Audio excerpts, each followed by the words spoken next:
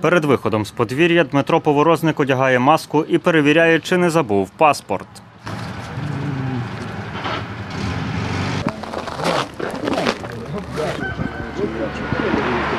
І хочу знати, кого я вибираю і за кого я голосую.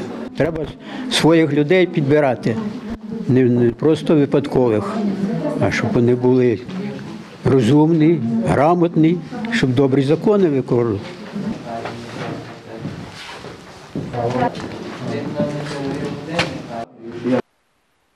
Дмитро Поворозник каже, інформацію про кандидатів читав у газетах. Там дуже багато.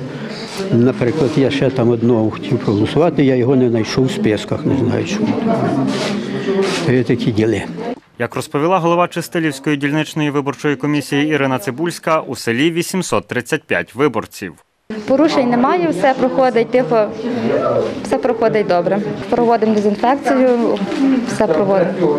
Тарас Бурак, Марта Журавель. Новини на Суспільному. Тернопільщина.